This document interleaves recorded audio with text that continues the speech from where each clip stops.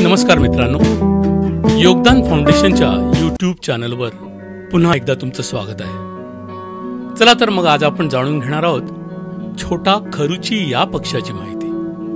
छोटा खरुची चिनी ससाणा चिमण नार्जी किंवा चिमण नार्जिनक या नावाने या पक्षाला ओळखलं जातं. इंग्लिशमध्ये या पक्षाला लेसर केस्ट्रल या नावाने ओळखलं जातं.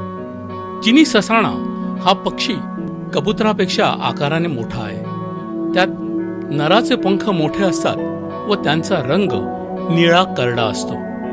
पोटाखालील भाग तांबूस पिवळट रंगाचा असतो. पंखाखालचा भाग पांढरा असतो.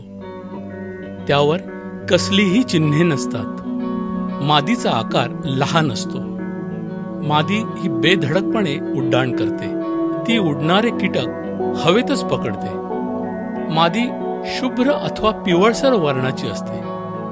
ती फांदीवर बसून पंखांच्या सहाय्याने घास चोचीजवळ नेते. हे पक्षी थव्याने किंवा एकटेही राहतात.